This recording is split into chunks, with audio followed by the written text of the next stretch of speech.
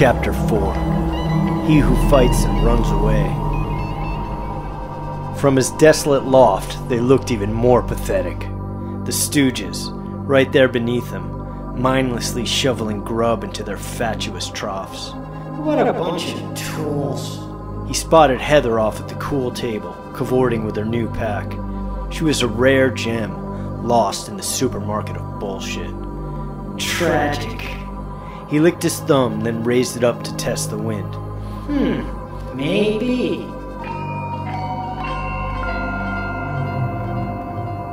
I can't believe that bitch keeps flunking me. If I fail, I have to go to summer school. Again. I fucking hate school. Vito complained. Yeah, she's a real cunt. Like you need math in the real world. Uh, duh. Ever heard of a calculator, bitch? Ever the champion elocutioner, Curly plowed another piece of farm raised multi-fish into his yap. Hey, can it rain when the sky's blue? Larry cerebrated as he wiped his forehead. Dude, what are you, an idiot? You ever heard of a cloud? Scolded Vito, but then he put his hand up to catch a drop. Wait, I think it is raining. As they looked up, squinting into the sun like dimwits, they got a face full of piss. Neil was swaying his hips up above them, spreading his gentle rain like a sprinkler. What the fuck? grumbled Curly. Vito quickly realized who was benefacting their golden shower. You little fuck! Waves of laughter rippled out from surrounding tables as the kids caught on. There was no love lost between the Stooges and their schoolmates. Vito was a prick. He had it coming. Yeah, Neil! Cheered one of the nerds. Go, Goodman! Hooted another. Heather chuckled at their wet, flummoxed faces, but when she looked to the heavens, her mirth turned to dread. Vito would demand at least a pound of flesh for this transgression. There was nothing funny about it. Neil might be the smartest person she'd ever met, but he could have made a career out of self sabotage. As they got up to flee, Curly tripped over Larry and fell into the table, sending their trays of food flying all over. Complete pandemonium broke out as the whole cafeteria leered and sniggered and busted out their phones. 21st century journalism at its finest. Vito moved out of range and took stock of himself in disbelief. Twice blessed, he was covered in lunch and doused with half Mexican urine. His face flushed with rage, he raised his fist. Oh, Looney Tunes, you are so dead. Uh-oh. Fuck. As Neil zipped up his tiny Todger, he realized he hadn't considered an exit strategy. Heather watched her bafflingly stupid amigo disappear from view. Run, Neil! She whispered, the only one at her table not guffawing at the spectacle. He grabbed his axe and jumped off the clock tower, back onto the roof. He slid quickly down the large ladder, and when he was close enough, dropped the rest of the way to the ground and took off sprinting across the grass. He was laughing hysterically, but he'd royally fucked himself. As he reached the rack, he threw the other bikes out of the way. He frantically spun the small metallic disc to 666 to undo his chain lock and took a brief look back towards the school. Where are they? He kicked up the jiffy and yanked his handlebars, but the pedal snagged on the spokes of his neighbor's rig. God damn it! As he pulled out the treadle, he heard the doors blast open and turned to see the three of them sprinting towards him, frantic and enraged, pissed to be wearing his. They were gaining quickly, but would have to unlock their bikes. As Vito and Larry got to the rack, Curly kept after and narrowly missed grabbing Looney Tunes as he pedaled away. What the fuck did I just do? Adrenaline pumped through every vein of his skinny body as he dug in and put some distance between them. Riding with his eyes swollen shut was weird, but he'd lose them in the labyrinth. He'd been riding those narrow trails since grade school. He knew them like the back of his hand. He who fights and runs away lives to fight another day. Oh, you are dead, Goodman. Vito's angry scream rang out behind him. Yeah, maybe. But not today, douchebag. Dust and pebbles flew from his knobby wheels. His thighs were burning as he quickly reached the fork, the dirt road roundabout in the woods about a quarter mile from campus, where the deviants gathered to smoke and escape the adults. There were a few stoners puffing on a blunt. They gawked at him slack jawed, a freak show cyclops, guitar in tote, rocking his dumb hair and pedaling like his life depended on it. He twitched his little bell as he passed, His mom had begged him to get it to alert cars to his presence. He'd grown to like its timeless ring. Rudy, a black kid he'd known since grade school, was there at the fork. Go, Speed Racer! He yelled as he hit the Dutch from under his hoodie. Neil heard them all laugh and chuckle too, foolishly invigorated by the chase. I'm losing them! In the passion of his flight, he could hear a dark, stupid riff, like something out of an action movie. He screamed like a lunatic banshee. Instantly, he heard a simple Motown beat. Up ahead, he saw the gnarled cypress tree where the labyrinth turned off from the wider dirt road. He slowed down briefly for a glance before dropping into the woods. Shit! They're still coming! Some dumb lyrics rambled into his head. He loved a good, simple song.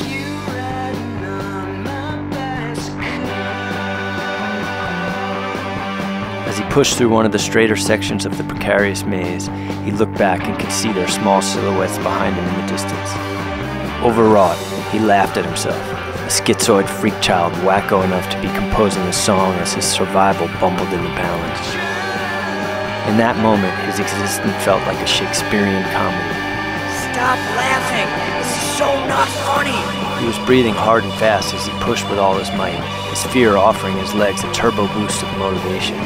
He tightened his grip as the path bent to the right and began an especially windy section he'd named the Gauntlet. I am such a nerd. He imagined his bike a small speeder with blasters on the side, like the one the rebel scum flew on the forest moon of Endor. In his mind's eye, he rose up above the trail and could see the whole ridgeline beneath him. His bell triggered a laser cannon and blasted parts of pine trees, leaving behind nothing but a smoking crater. He spotted the Stooges and zapped them with a lethal burst of red flames, cackling as their flesh melted, leaving grisly skeletons behind. Take that, assholes! Abetted by stress and fatigue, his fantasy grew more vivid until it fully consumed him and he forgot he was on the trail. He was safe inside his song, unaccountable to fate, free to exact revenge for all hurts past and future, his imagination his refuge from the cruel world. The sky turned a mysterious phthalo blue-green as the sun darkened and began to spin like a whirlpool, sucking all the light clouds back towards him. He leaned into a turn and headed back towards school, ringing his trigger once more. Clock minaret exploded, raining fire and debris down on the cafeteria, and he chortled maniacally. the trailhead wound like a serpent through the chaparral, switching back and forth through the foothill pines and leather oaks, but he was oblivious. Lost in his fantasy, he turned his speeder in a long arc and headed up high over town towards the water tower. He lined it up in his sights and rung his bell. The song continued as his cannon blew the tower to bits, sending down a deluge on the panicked people below.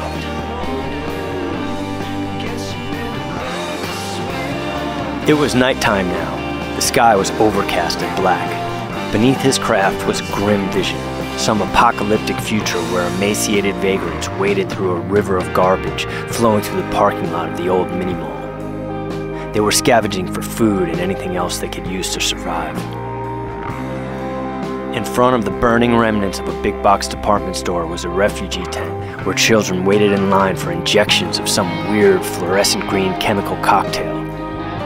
Behind them was a tall, scaly reptile humanoid, towering over a gaunt, cagey old white man in an expensive three-piece suit. They were shaking hands, sealing some sinister deal when Neil rang his bell, raining down fire and brimstone upon them, searing their flesh and boiling their blood. The children all looked up and cheered as he whizzed by and gallantly raised his fist. You can run, but you can't hide, Goodman. Vito screamed in hot pursuit, rousing him from his chimera. Fuck! They're gaining on me! He tried to focus on the terrain but was distracted by the sun, still sucking into itself like a black hole. Shrouds of clouds were curdling around it, forming a diabolical face that was sniggering with delight. Its demonic eyes were red and infernal, backlit by the ominous glow. A wave of terror raised up goosebumps in his arms and neck. Concentrate, you loser! There was a dangerous zigzag and then a blind turn at the end of the gauntlet. It was quickly approaching as he leaned out to his left along the edge of a steep cliff. He was going way too fast and pulled hard on the brakes and braced himself, his back tire skidding out as he tried to change directions. Phew. That was close. Just as he began to pat himself on the back, thinking he'd slowed down enough to bank the last turn, he noticed a large tree branch strewn across the path. He pulled up hard to bunny hop it, but it was a big limb, way too thick. His front wheel caught and he went flying over the handlebars off the edge of the cliff. Fuck! He flailed his arms and legs as he fell into the ravine, but then a strange calm overtook him, and he relaxed as time slowed down, like a tape rewinding. It felt like he was falling forever, and inside his head he could hear the ominous voice of the cloud demon calling to him. All for love and war.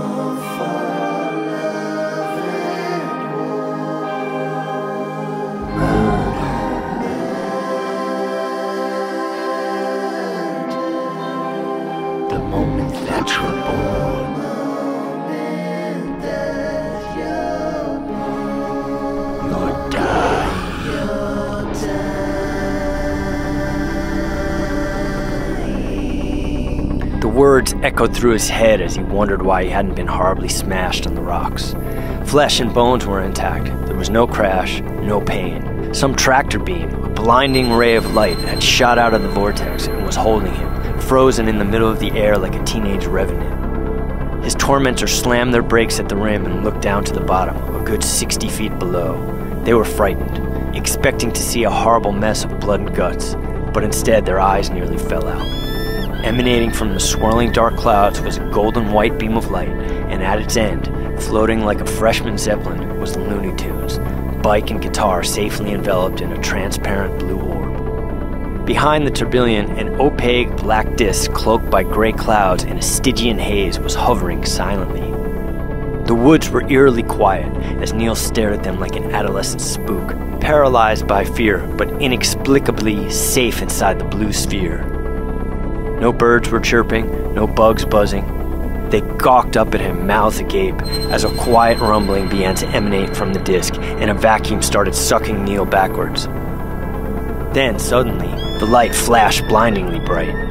When they looked up again, Neil was gone. The clouds had parted, and the black disk was hovering there unobstructed. It hummed softly, a queer otherworldly drone, as it lingered for a brief moment before taking off, accelerating instantly to an unfathomable speed. Suddenly, it turned towards the wall of the ravine, but instead of crashing, the saucer defied the laws of physics and miraculously dematerialized into the rocks. Vito rubbed his eyes.